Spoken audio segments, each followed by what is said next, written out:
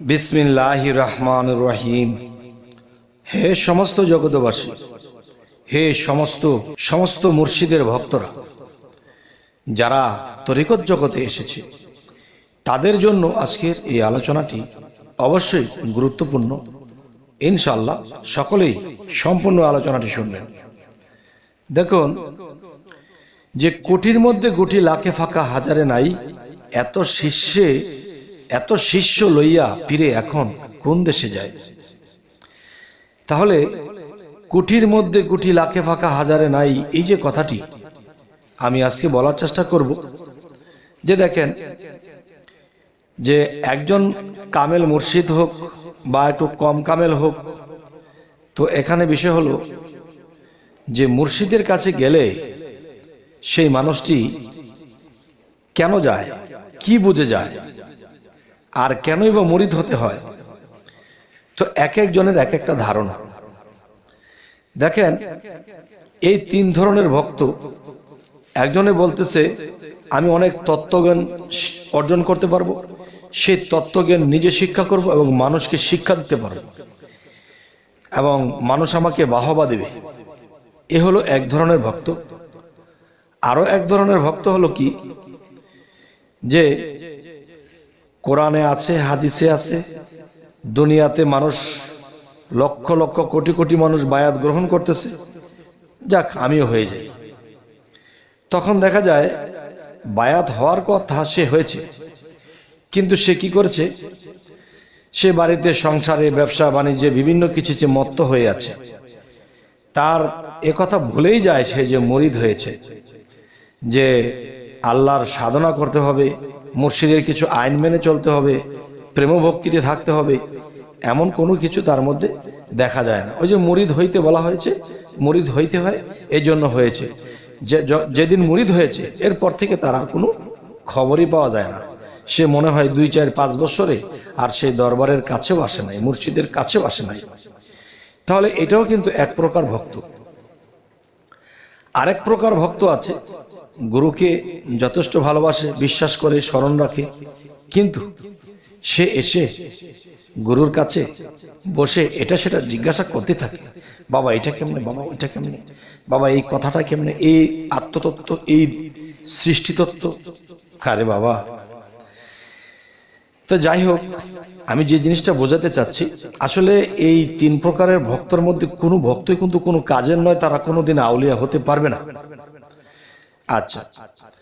তাহলে কোন ভক্তটা পারবে? কে আউলিয়ার কাছে গেলে আউলিয়া হয়ে যাবে?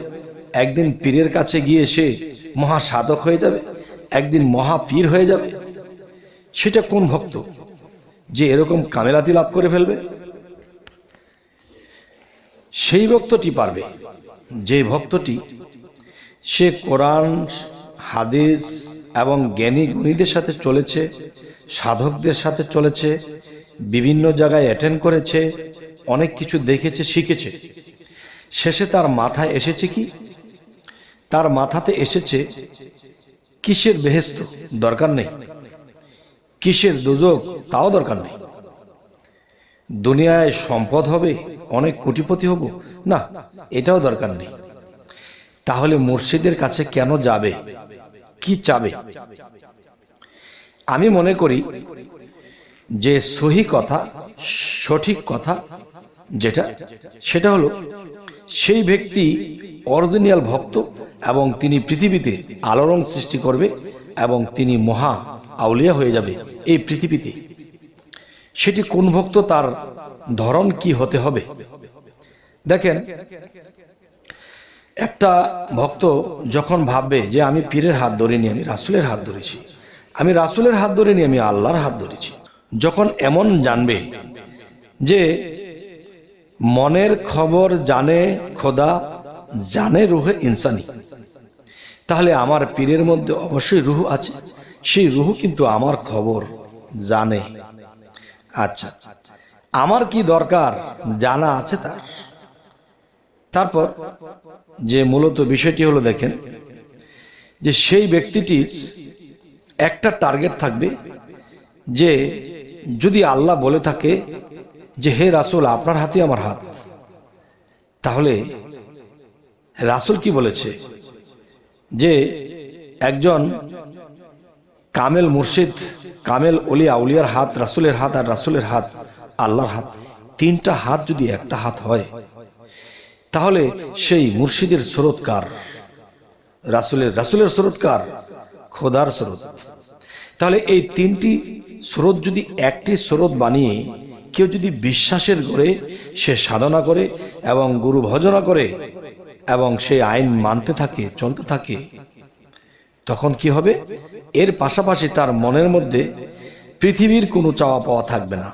এক। দ্বিতীয়ত সে বেহেস্তে যাবে একদিন। সেটাও তার মনে থাকবে না, দরকার নেই। তার মনে এমনও কিছু থাকবে না যে আমি একদিন মুক্তি নেব, এই আত্মার মুক্তি নেব, এটাও থাকবে না। এরপরে তার মনে এমন কিছু নেই যে আমি একদিন দুর্যোগে চলে যাব? না, সেটাও না। কোনোটাই না। তাহলে সেটা কি? সেটা হলো এক বাক্যে এক কথা। সেটা হলো কি? হে দয়াল, হে খোদা, তুমি যা করো। তুমি যা করো। আমি কি করলে তুমি সন্তুষ্ট হওয়া? আমি যেন সেভাবে চলতে পারি। আর কিচ্ছুই তোমার কাছে আমার চাওয়া পাওয়া নেই। তুমি যা করো।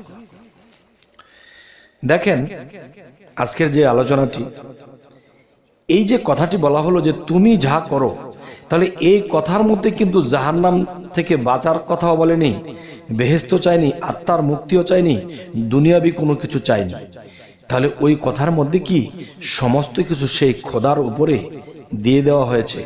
এখন খোদাই বুঝবে আমার কি দরকার। যে দুনিয়াতে লস হচ্ছে, লোকসান হচ্ছে, বিপদে আছি, কোনো কিছুই তাকে জানায় না। কারণ তিনটা হাত যদি একটা হাত হয়, তাহলে তিনি জানে আমার কি বিপদ, না আপদ, বিপদ যাবে না থাকবে, সেও জানে। আমারটা বলার প্রয়োজন নেই। আচ্ছা। তাহলে এই ভক্তটি একনিষ্ঠার সাথে একনিষ্ঠভাবে এই ভক্তটি শুধু সাধনাই করে যায়, তার কোনো কিছুরই চাওয়া পাওয়া নেই। দেখেন, একজন মহা অবতার, তিনি কি বলেছেন? কর্ম করো, ফলের আশা করিও না, ফলের আশায় কর্ম ত্যাগ করিও না। দেখেন, কত বড় একটা কথা।